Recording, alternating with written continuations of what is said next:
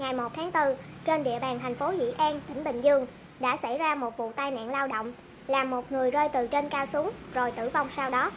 Theo thông tin ban đầu, khoảng 8 giờ sáng cùng ngày, nhóm công nhân đang làm việc tại công trình xây dựng trên đường Lê Hồng Phong, phường Tân Đông Hiệp, thành phố Dĩ An, tỉnh Bình Dương. Lúc này, ông Nguyễn Thanh Hùng, 58 tuổi, ngụ thành phố Dĩ An, bất ngờ rơi từ trên tầng 2 xuống đất nằm bất động. Phát hiện vụ việc, những người còn lại dùng xe máy chở nạn nhân vào bệnh viện cấp cứu, nhưng người đàn ông đã tử vong sau đó. Nhận thông tin, Công an thành phố Dĩ An và Phòng Kỹ thuật Hình sự Công an tỉnh Bình Dương đã tới khám nghiệm hiện trường, lấy lời khai các nhân chứng, kiểm tra giấy tờ pháp lý của công trình. Bước đầu xác định đây là công trình xây dựng nhà ở, khởi công từ giữa tháng 2 và hiện đã xây lên tầng thứ ba. Tới 15 giờ chiều, công tác khám nghiệm hiện trường mới hoàn tất.